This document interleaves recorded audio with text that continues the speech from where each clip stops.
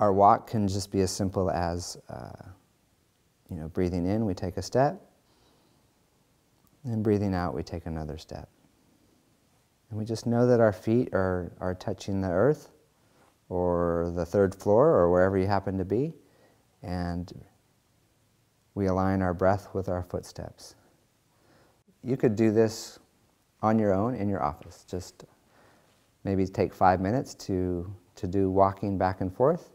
Just allowing, just go slow as you want to. Just you got nothing to do, nowhere to go. Just footsteps on the floor, and that's all it is. What's going on up here is that you're bringing your attention to your footsteps and aligning footsteps with your breath. So maybe you do two or three steps with each breath, or four, and allow yourself to just step into that moment and be there.